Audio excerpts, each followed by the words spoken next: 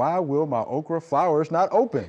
The plants look healthy, but once the flower buds grow to about four centimeters, they turn yellow and brown and they fall off. The okra knobs turn yellow brown and fall off once they're about one centimeter.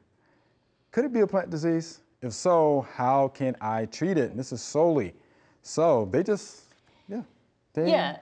So, I mean, with I, I I can't rule out a plant disease, but oftentimes when we think about flower or you know fruit drop, my mind goes environmental. Okay, so does mine. Yeah.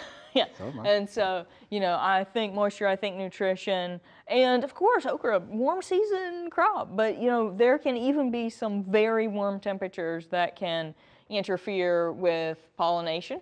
Okay. So, you know, warm, cool. I, I think, you know, I think environmental. Okay, environmental so I'm thinking environmental too. We don't know where she is. Right. yeah. Um, we have but some, yeah, I'm definitely thinking environmental. some geographic limitations in, you know, in assessing, you know, warm, cool. There um, might be some but, limitations yeah. there. It might be. Um, but yeah, just just plant some more. Yeah. a little bit more. But yeah, I'm definitely thinking environmental. You know, with that. Um, again, we don't know where, where this person is, but yeah, could be a factor. We hope you loved the video. We would love for you to ask more questions. Be sure to leave those questions in your comments.